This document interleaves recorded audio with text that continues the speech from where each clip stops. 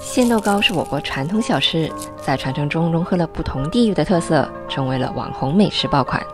大家好，我是研究所的西塔，今天做的就是芋泥奶酪鲜豆糕。将玉米油、细砂糖、鸡蛋倒入碗中，彻底搅拌均匀。将低筋面粉和玉米淀粉用筷子搅拌成絮状，再揉成团，静置三十分钟。马苏里拉奶酪提前室温回软。将紫薯芋头削皮切片，放入蒸笼，均匀铺开，蒸二十分钟。出锅取出，放在大碗中，趁热用工具把芋泥和紫薯压成泥，加入炼乳，搅拌均匀，分成三十五克一个，搓圆备用。